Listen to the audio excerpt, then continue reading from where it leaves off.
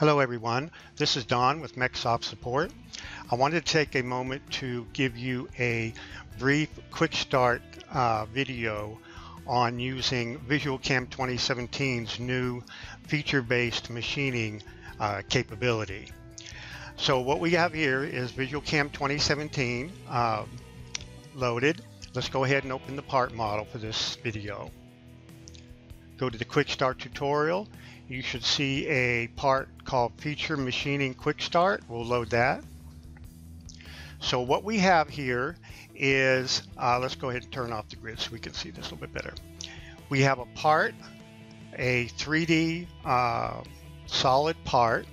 Now, nothing really special about this part uh, other than it has to be a poly surface, closed poly surface or a solid uh, model in order to extract the features.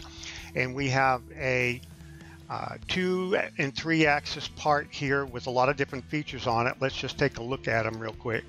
Uh, we have some closed pockets, a open pocket. We have uh, some slot features, a closed slot, a angular uh, through slot, and then a pocket slot over here.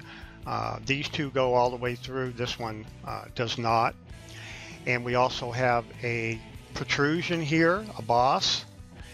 And we have a couple of hole patterns. We have a smaller hole pattern here and a larger hole pattern uh, in the middle. And this feature on the back is a uh, three-axis pocket feature. It's three-axis because it has a contour drafted surface and a fillet uh, at the bottom, which you uh, need three-axis uh, machining to complete that. Okay, let's go ahead and show you how easy it is to extract all the features from this part and program it for machining. So we'll go down here to the Machining Objects browser and pick the Features tab and we'll select the uh, Create Machining Features icon and it's going to prompt you to select the flat area to detect features. What we're going to do is we're going to select this top face of the part and right click and VisualCAM will detect all the features it can from the part. Let's drag this up a little bit so we can see what we got here. We've got a whole list of features here that uh, VisualCAM detected and we'll review them real quick.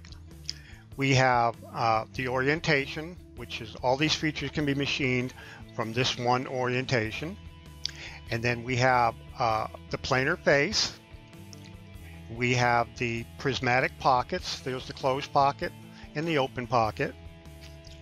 We have the slot features detected. And we have the three-axis pocket detected here in the back. Then we also have our boss. And we have our larger hole feature in the back. And then also a, our feature pattern, our through hole feature pattern in the back. Let's go ahead and show you how easy it is to uh, create toolpaths uh, for these machining features once they're uh, extracted. So let's go ahead and we'll go over to the Tools tab and see that we have a number of tools already loaded with the part. Um, one thing I do want to mention here is that we're going to be doing a lot of things that uh, we're not going to cover in detail, such as setting up your part, creating a tool. Those are covered in other quick start uh, videos uh, for VisualCAM 2017. So I recommend you look at those uh, ahead of time for more detail. So we'll go back over to the Features tab. To create an operation from a feature, you simply select the feature, right click on it, and select operation you want. We're going to do a facing operation. So here's our feature that's selected. We'll go ahead and pick a tool. We'll use a half inch flat mill. Feeds and speeds, we'll load those from the tool. All these, these are simply default settings that I have stored with these operations. So you can, you can change these settings or uh, use the default settings that come with this particular part. So we have uh, clearance plane, we set that to automatic, and for roughing, uh, everything looks good. Let's do a 40% step over. Cut levels. Now, the feature information that VisualCAM extracts, it understands not only the XY extents of the feature, but it understands the depths of the feature. So here it tells you that uh, has a needs a rough depth cut of a quarter inch. We'll go ahead and accept that and pick generate. So show you the feature here. There's our uh, facing operation for this top part. Now what we'll do next is we'll go ahead and machine our pockets. So we have a open prismatic pocket here. Let's go ahead and right click on that and we'll do a facing operation. And there's our pocket feature. For the tool, we'll use the same half inch flat mill. Everything else should pretty much be the same. Let's generate. So here's our tool path for the open uh, pocket using a facing operation. Let's go down here and do our second pocket, which is a closed pocket, prismatic pocket. We'll go ahead and right click on that and we'll select pocketing. There's our pocket feature with a tool. We'll use a smaller uh, eighth inch 3 8 inch flat mill for this pocket. And everything else for the cut uh, depths, we have a minimum depth of a half an inch and the rough depth per cut is a quarter inch, so we should have two levels. Let's go ahead and generate that. There's our pocketing uh, toolpath. Now for our slots, uh, we're going to do these all in one operation. So we have a, a through slot, an angled through slot, and a blind slot over here. So we'll select our slots right click and pick slotting. So uh, VisualCAM 2017 has a new slotting toolpath. So we have our features selected here with the tool. Uh, this is a half inch slot, so we'll use our half inch end mill. And for the slot parameters, everything looks good. So for the cut levels, it tells you you need a minimum depth of a quarter inch. That's the minimum depth of this smaller uh, blind pocket here. So we'll, we'll leave that set as a rough depth of cut as a quarter inch and pick generate. So you can see here we've got the through slot here, we've got a through slot there, and then we got our blind slot uh, there. We're going to simulate these all at the end here in just a moment. So we've got our uh, three axis pocket here on the back. Let's go ahead and create some three axis operations for it. We'll go ahead first uh, right click and we'll see all of our three axis operations to choose from. Let's do a horizontal roughing operation first. There's our feature. For a tool, we'll go ahead and use the 3 8 inch flat mill. For the cut levels, uh, that all looks pretty good. We got the clear flats option checked, so it's going to clear the bottom area. Let's generate that. So there's our roughing operation. let's go ahead and create the finishing right click on the feature and we'll do this with a, a uh, parallel finishing operation. There's our feature. For this uh, tool, we'll go ahead and use the quarter inch ball mill. For the cut parameters, uh, we'll leave that angle set to zero. 10% uh, step over. Let's go ahead and set that to 5%, get a real nice finish on that. Entry and exit, everything looks pretty good. Let's generate. So there's our really nice uh, parallel finishing operation on that three axis feature. Now let's go ahead and work our way down here. We can collapse these as we do them. So we've got our slots done, three axis pocket done. Let's go ahead and do our boss. And for the boss, we'll use a profiling operation. There's our feature. For this tool, we'll go ahead and use, we can use the 3 8 inch flat mill. And for the cut levels, uh, it's a quarter inch depth and we're going to rough it to a 1 8 inch level. So there'll be two levels. Let's go ahead and pick generate. There's our profiling operation for that feature. And let's go ahead and do our holes. So we got a, a larger hole in the back.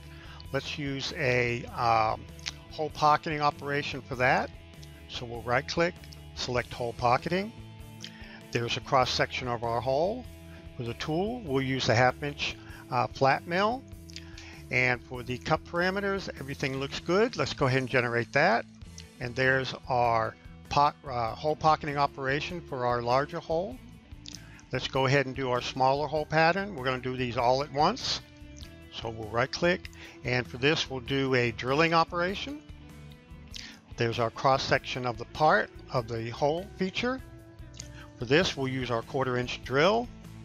Let's go over the cut parameters. We're going to use a deep drill. Here's our drill depth that's needed. That's three quarter inch.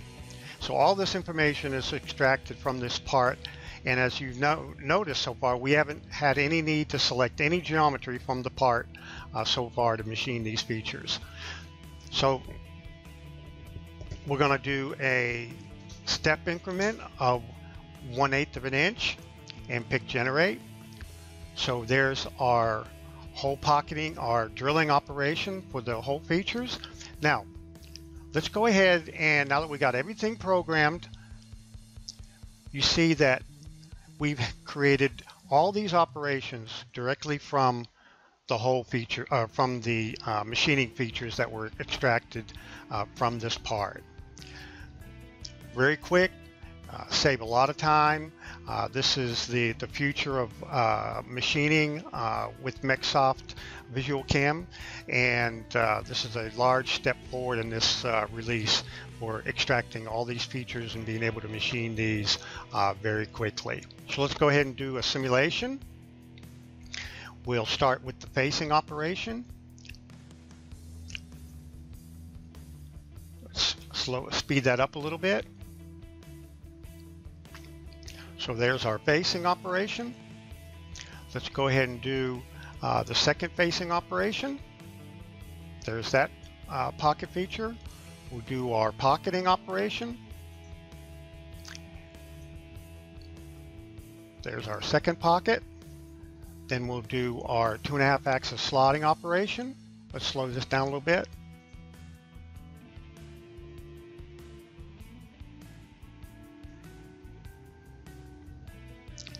There's our three slots all in one operation. Let's go ahead and do our three axis feature on the back. Do our roughing operation. Speed that up just a little bit.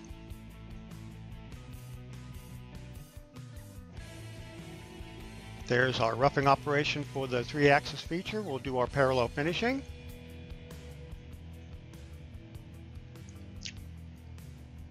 There's our three axis parallel finishing on that uh, three axis uh, feature, hole pocket feature on the back. We'll go ahead and do our profiling operation. We'll slow it down for this. Clean up that uh, protrusion. We'll do our hole pocketing operation. Let's go ahead and step through that so you can see that a little bit slower.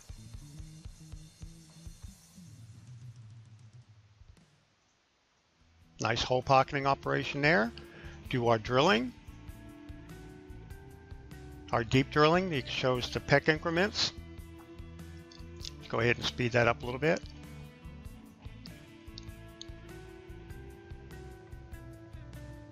And if you noticed on the uh, the deep the deep drilling operation, we have uh, sorting uh, selected, so it does it in a minimum distance sort.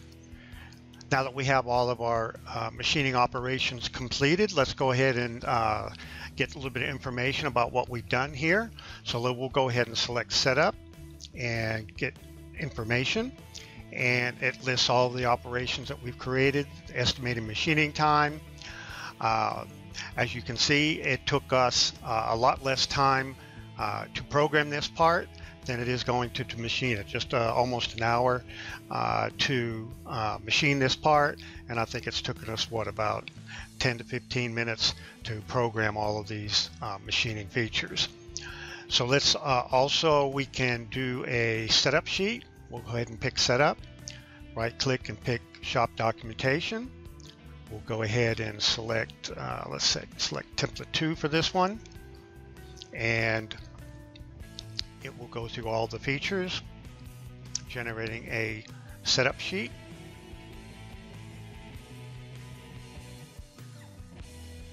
So here is our setup sheet, our HTML-based setup sheet. Shows you a picture of the part, uh, your stock dimensions up here, and your tool list, your tools that are required, and it shows each feature uh, that's being machined. There's our facing, basing, pocketing, slotting. Here's our three-axis roughing and our three-axis finishing and our boss That's a profiling operation we use there, and our hole pocketing, and then our drilling operation. So as you can see, in just a small amount of time, we were able to uh, machine this entire part, uh, creating all these operations uh, directly from the machining features. Now also we can go ahead and let's go ahead and post it out. So as you can see we have uh, our Haas uh, post selected. Let's go ahead and we'll select the setup, right click and pick post. And here is our uh, G-code file to machine this part directly from the machining features. Well, that's all for now. If you uh, need more information uh, about us or the products that uh, we offer, you can reach us at www.mecsoft.com. Uh, you can also come to our website for additional tutorials and to uh, contact us and also uh, set up training. you can do everything right from our website. Thank you.